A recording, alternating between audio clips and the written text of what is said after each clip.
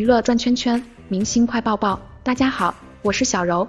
这两天有很多网友在网上冲浪的时候，发现了钟楚曦前男友的照片。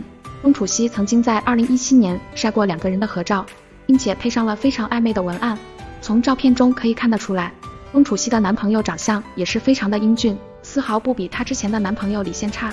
很多网友也纷纷表示，钟楚曦真的是颜控呀。根据知情人士爆料，钟楚曦的前男友是一名俄罗斯人，同样也是模特，身材、长相都非常的符合中国人的审美，应该算得上是比较吃香的类型了。虽然两个人的恋情已经走到了结尾，但是很多的网友纷纷表示，两个人站在一起真的是俊男美女配一脸啊。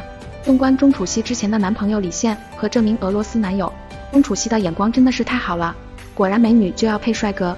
通过冯小刚导演的电影《芳华》在娱乐圈里面大火的气质美女钟楚曦，这两年在娱乐圈里面的资源相当的不错，在各个红毯上面的表现更是十分的惊艳。本身非常有气质，再加上十分有攻击性的长相，就为她加持了不少。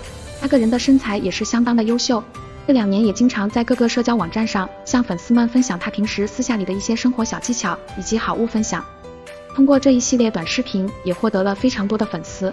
这一段时间，他和娱乐圈里面流量非常大的网红深夜徐老师也拍摄了一系列十分优秀的短视频。在这一则短视频里面，展现了他非常强大的化妆功底，并且透露他到现在为止，几乎每一场红毯走秀都是自己为自己化妆的。而钟楚曦在爆火之后，很多网友也提出了他在之前和李现的恋爱。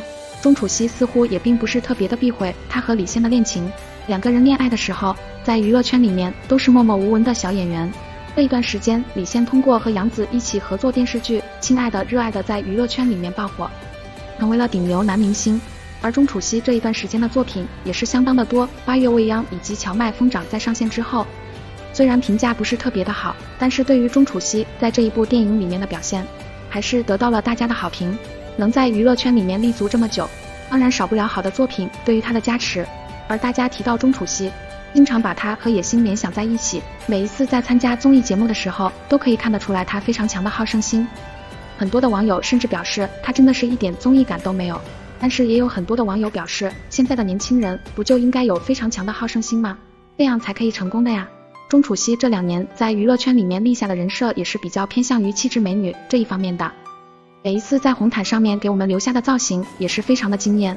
再看一看钟楚曦过往的前男友们。果然是和她一样优秀呀，你觉得呢？